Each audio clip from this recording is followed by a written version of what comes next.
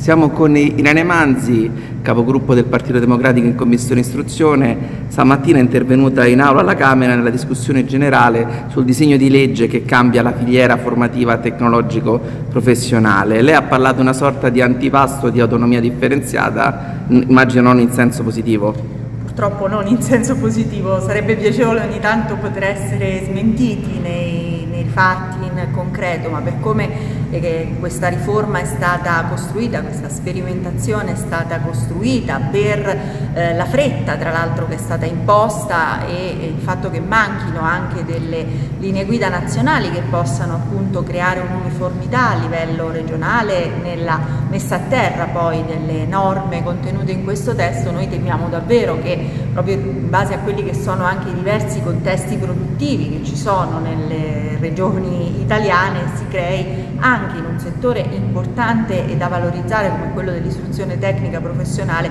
un'Italia più velocità, con tante eh, realtà scolastiche differenziate ma la mancanza appunto di un quadro eh, nazionale.